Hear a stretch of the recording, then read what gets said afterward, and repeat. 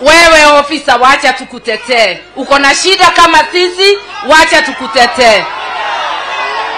Nataka nataka pia kuwapongeza polisi wa jimbo la migori siaya not siaya kisumu na vihiga kulikuwa na maandamano kwa hizo jimbo na polisi walitulia wakawachilia wananchi kufanya maandamano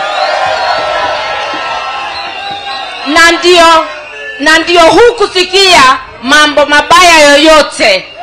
Sababu wananchi nimesema hawana silaha na hawana nguvu ya kutoa fujo. Mwenye silaha ndio hutoa nini? Fujo. Sasa nawauliza polisi na watu wa security kenya yote. Ukiona mwananchi akiandamana wewe tulia maandamano iendelee kwa njia ya amani. Usije ukatuletea fujo wewe usije ukaumize mwananchi.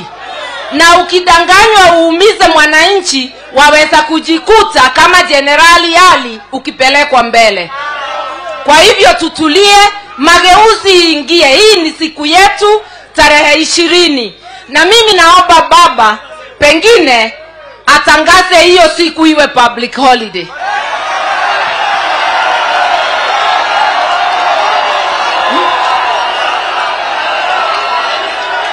hatuwezi. Hatuwezi kuandamana tukifuata haki yetu na tuende kazi. Hiyo siku your excellency